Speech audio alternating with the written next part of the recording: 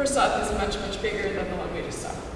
Um, so what happens when we all look at the whole thing to start with is we forget or we miss out on some of the detail, especially on the sides.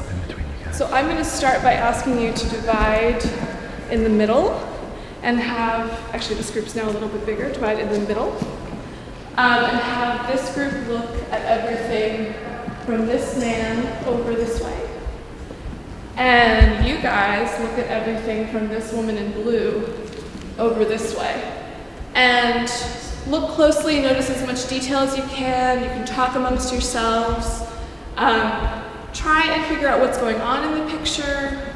Um, and keep an open mind for now. We'll put it all together later. So, What do you think that is behind it? Is that clouds or is that I think mountains? it's What did you guys think it's decide mountain. blue? I don't know. Because it's sort of the same color as what's in the foreground. Oh, and then you're right, she's right He's got to stand on something. And then you're right, the river like is little dark. Well, maybe that's the Come muddy. blue. Oh, yeah. Yeah, I saw that. Mm-hmm. I'm not really sure what that is. What the woman maybe freedom. Yeah, like she's the carrying like a wreath, like like the Olympics. Yeah. That's what they Yeah. used to, like I wear. don't know what she is. Red is always And- and like a a prominent color, and it's clearly the center, so that must mean something. Well, it's like blue and Yeah, it red. looks like it's red. It's a very Yeah, patriotic something the symbol. muddy Mississippi. I don't know. There's a steamboat. and Maybe it's Well, yeah, that's what I was. I was thinking golden instead of money, but it could be money. could be golden. But it looks like there's, it's harvest time. So all the work has been done. and the American bounty, the prosperous land. And every, at least these three subjects seem to be very relaxed. Yep, not doing any work. Yeah, he's working, but it's okay. He's not being overworked. So there's a sense of safety, a sense of security. Security. so let's start with this group here. What's going on in this half of the artwork?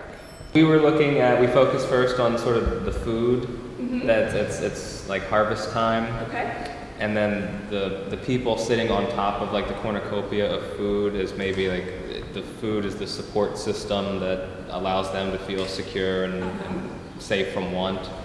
And then we were looking at the in the background the what we assume is water, but it's not blue. So we were is that golden or is it muddy to reflect the Mississippi because of the steamboat? And then we're also looking at the sort of the mountain slash and or clouds in the background. We're trying to decide what that was as well. Okay. And we didn't know if that was Little Boy Blue. And the date is 47. Yeah. Okay. And you saw that because the artist so inconveniently put that in the corner. Turn. Um, okay, so you notice what's really prominent in this half of the picture is that harvest, the, the bounty, and it's all spilling out of the cornucopia. And I like the way you say that maybe that's the support that makes them feel secure. And you know, use the phrase freedom from want. Now, what era is that from, too? Roosevelt, right? That's the end of World War II, so that really fits right into this. Um, and then you, you wondered also about this, this weird color. It's, it's water because there's a steamboat on it, but maybe it's a, a golden color or a muddy, churny color that made you think Mississippi, um, old money, that kind of thing. Okay, so you've situated it a little bit in place and time. Um, how about this half of the artwork? Uh, I grew up on a farm in Northern California, so I this really reminds me of home with the foothills, the coloring of the uh, the countryside, the live oaks along the ridge line, and the mountains in the background. So that that really reminded me of home and harvest.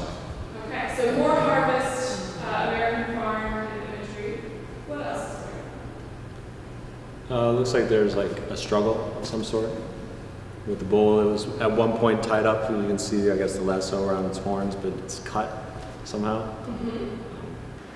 We talked about the farm. Talked, there's this, this struggle here between this man and the bull has gotten loose.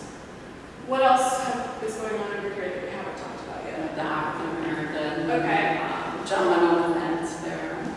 Okay, so he's, he's sitting on the fence. What might his role in the scene be?